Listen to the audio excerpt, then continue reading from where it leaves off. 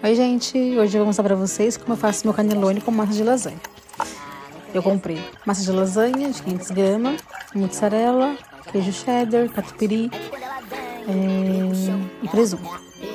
Aí eu já tô iniciando já a massa, mas estava um pouco ainda congelada. Mas eu já passei catupiry, aí eu vou fazer presunto, mussarela, queijo cheddar e orégano. E assim segue o processo. Vai fazendo a massa, recheio, massa, recheio, massa, recheio.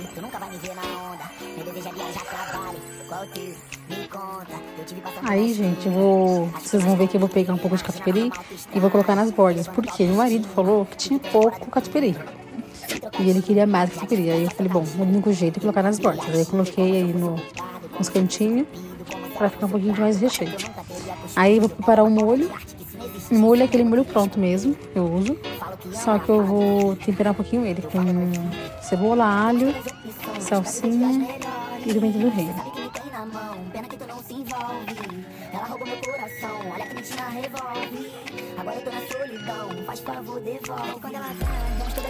Aí eu coloquei um pouquinho de óleo para refogar o alho e a cebola.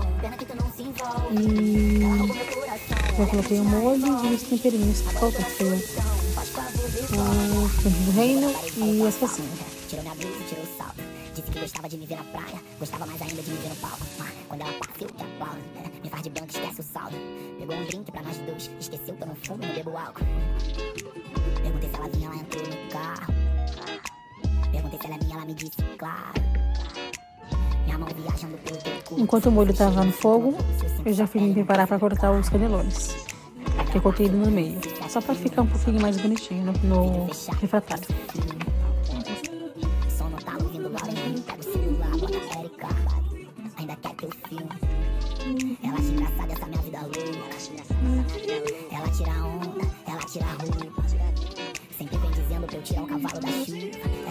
Depois de pronto, é só a gente colocar o molho.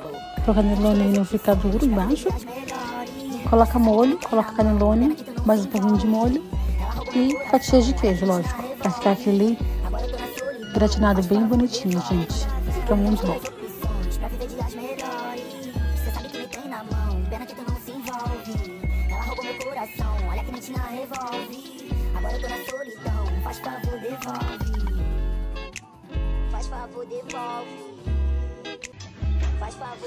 Aí eu coloquei no forno a 220 graus, 18 minutinhos. Aqui eu coloquei na receitinha de pizza que fica no forno gravado, gente.